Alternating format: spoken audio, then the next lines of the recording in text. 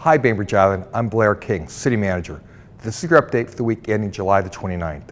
Residents of Murden Cove have expressed concern with interference from a radio tower located in their community. In 2018, the city voted to assist the residents in connection with their concerns regarding the significant increase in the radio tower's transmitting capacity. The city's efforts to address concerns with blanketing interference from the radio tower continues. Earlier in the year, the city, along with residents, submitted a petition to deny renewal of license in the hope that the station owners and the operators of the tower will address the concerns of the residents. Now we have sense that the Federal Communications Commission may soon make a decision on the license renewal, and it's hoped that the concerns of the residents will be addressed. Have you heard coyotes howling in the middle of the night? We hear that there are some coyote concerns, and while the police department has not received any calls, residents have contacted the City Council to express concern about an increasing number of coyote sightings. We contacted the Washington Department of Fish and Wildlife for assistance. Washington Fish and Wildlife has an informative pamphlet on their website.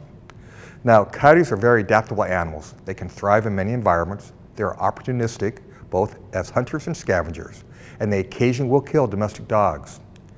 Coyotes are curious but timid animals and will run away if challenged, but like any other wild animal, it will protect itself and its young.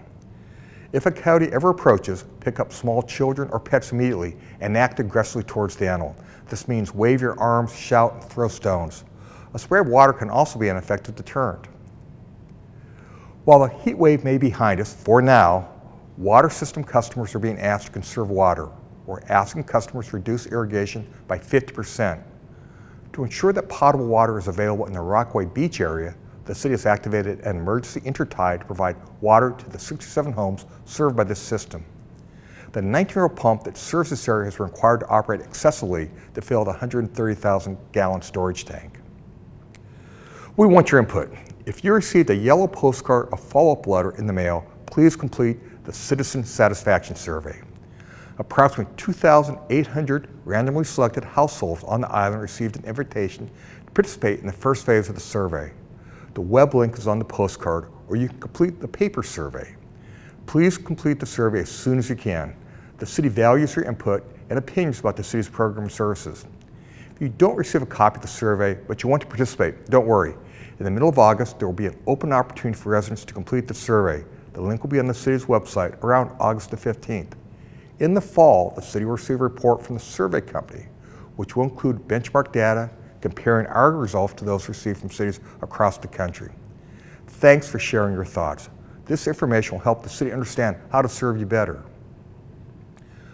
The Washington State Department of Transportation announced that a fish passage improvement project on State Route 305 is scheduled to begin on August the 8th. Here on Bainbridge Island, the fish barrier removal will focus on the Murden Creek under State Route 305. An existing culvert under the highway will be replaced with a new bridge. Crews are scheduled to begin work near Sportsman Club Road Northeast. Travelers will generally see construction during daytime hours each weekday. The Washington State Department of Transportation will keep travelers moving throughout the construction zone. Crews will build a temporary two-lane bypass road which will create a work zone to rebuild the stream. The culvert will be replaced with a new 120-foot-long bridge. Replacing the culvert with a new bridge removes barriers to fish and increases the likelihood of migration in a more natural creek environment.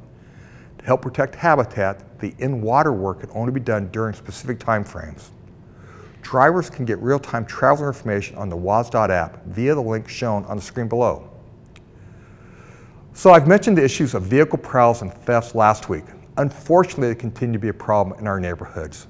Many of these incidents could be deterred or even prevented by simply locking your car or removing valuables from sight. If you see something, say something. Please contact the Bainbridge Island Police Department with any information or suspect tips. The City Council rejected the single construction bid for the Bainbridge Island Senior Center project this week, as the single bidder received for the renovation project was more than double the engineer's estimate. The city's project manager is currently working with the Bainbridge Island Senior Center to trim the project scope. At this time, we think the project will refocus on upgrades to the newer portion of the building, including the entryway, the lobby, and the thrift store. For more information on some of these topics and all the city's news, please check out the City Manager Report online at bainbridgewa.gov.